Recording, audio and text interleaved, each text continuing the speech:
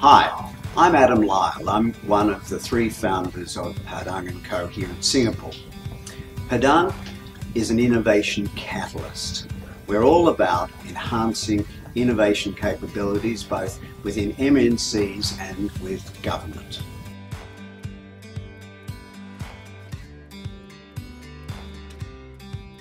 I certainly believe that Singapore is an ideal place for somebody, particularly coming from Australia if you're looking uh, to Asia, to base your startup. My advice for somebody coming to Singapore yep. is yes, think Singapore first, but you've got to have a view of all of ASEAN and North Asia as well.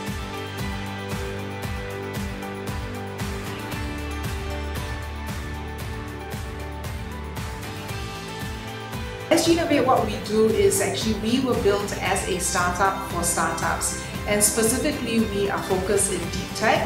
What we're doing is really focused in three key areas around artificial intelligence, blockchain, and also very focused on medtech.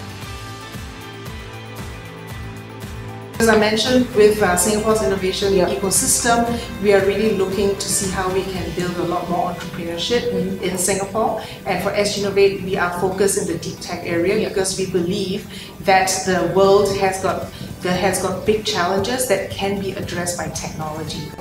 Well, I think Singapore is fantastic for startups. First of all, we've got a very strong and stable government who's extremely supportive of startups. I think that you speak with um, entrepreneurs here in Singapore, many of them would echo that you know the amount of support that's given to startups here really helps them in their journey. So my name's Liza Noonan. I'm the Director for CSIRO here in Singapore, looking after our ASEAN market. And the CSIRO is the Commonwealth Scientific Industrial Research Organisation, and we're Australia's national science and technology agency.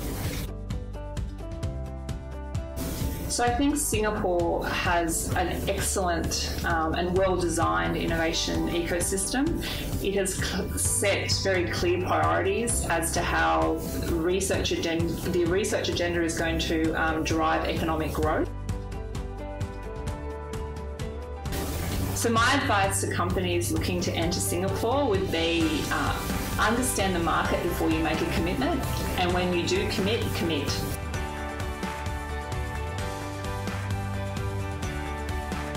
Sure.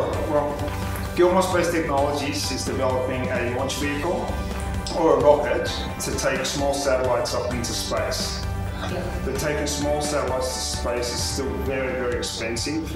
So we're looking to produce a vehicle that literally halves the cost of what it would cost you to put something small into space now. Yeah, there's, there's quite a few. I mean, one of the things we love about Singapore is they have a pretty good philosophy about hiring foreign talent. The government here is very progressive about allowing us to hire the men. The process is incredibly fast, it's not expensive. If I compare that to a lot of other countries, it's significantly better.